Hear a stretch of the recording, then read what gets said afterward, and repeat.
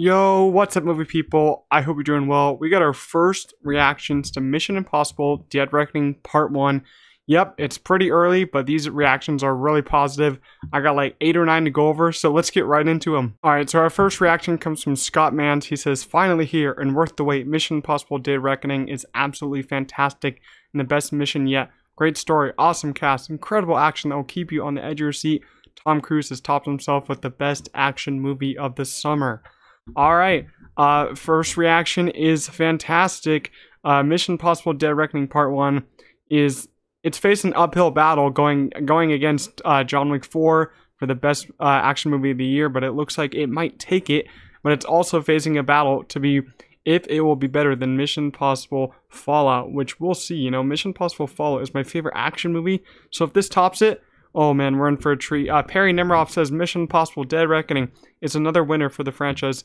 Yet again, the production value is through the roof with some of the most well defined and exhilarating set pieces photographed in ways that truly make you feel like you're in the middle of the action. The emphasis on capturing things in camera makes a huge difference, and you can feel it. Also, really dug the mission this time and around and how the technology thereafter factors into the characters' individual arcs. And then we got some more for her. Tom Cruise is A plus as always, and Rebecca Ferguson continues to be a favorite.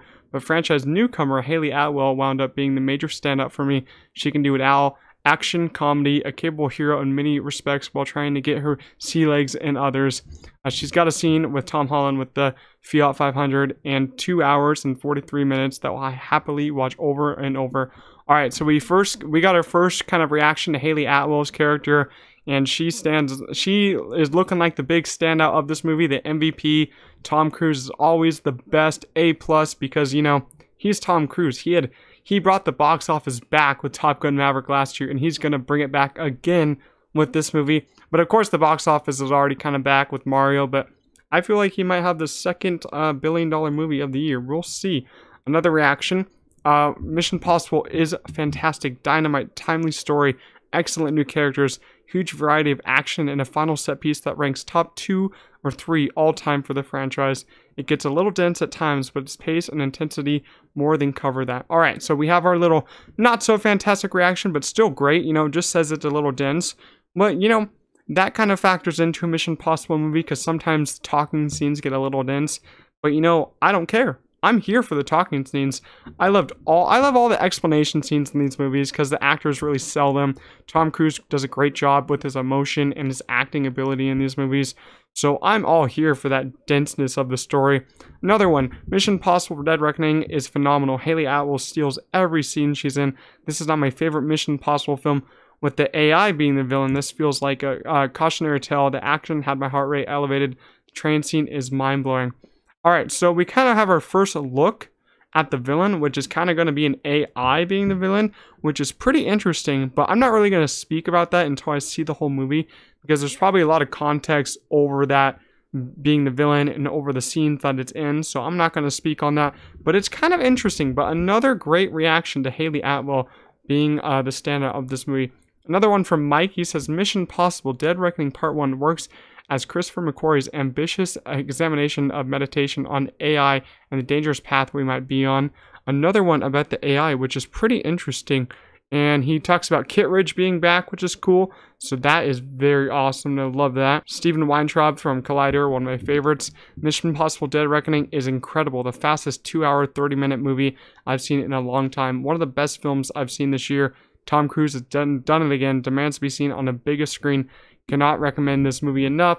And another one, big surprise, how much I loved Hayley Atwell in the movie. I've always been a fan, but she's fantastic addition in the franchise and a huge part of this movie. All right, another one, Mission Possible Dead Reckoning is the best movie of the year. Tom Cruise done it again, jaw-dropping action, high stakes, and a pulse-pounding third act that'll have you on the edge of your seat. Tom Cruise is better than ever, and Hayley Atwell is incredible. All right, this guy says it's the best movie of the year, which just gets me even more pumped than I could ever be. And man, I just cannot wait for this movie. Uh, he has some other tweets. We'll look at this one. Uh, it's an action movie perfection. So many standout moments and performances. The motorcycle stunt is and everything that happens on the train is outstanding. So many great fights in Vienna, and that car chase is next level awesome. All right, some re- some reactions to that uh, motorcycle jump. I cannot wait to see that. Our last one will be from Brandon Davis.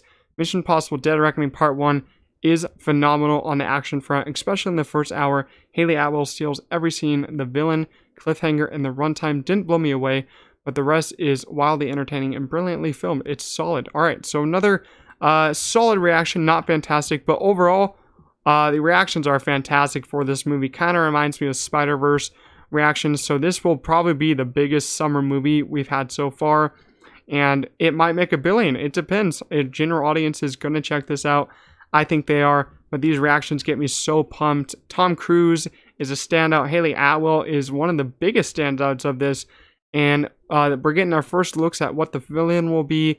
Uh, we're getting reactions saying that this is a short movie and it goes by really fast, so I cannot wait.